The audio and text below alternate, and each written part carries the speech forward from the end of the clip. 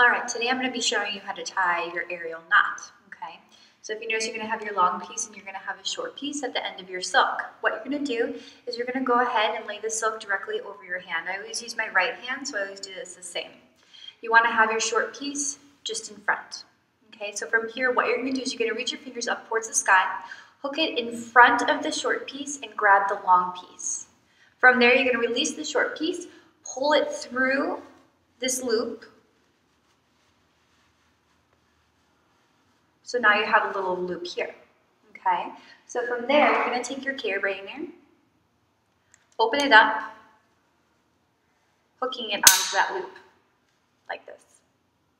From there, you're gonna take your short piece, you're gonna go through the loop that's just underneath the carabiner, if you can see that here. So you're gonna take that loop, going through, like so.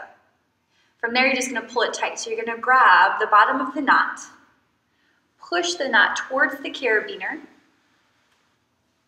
creating it nice and snug. And there you have your knot.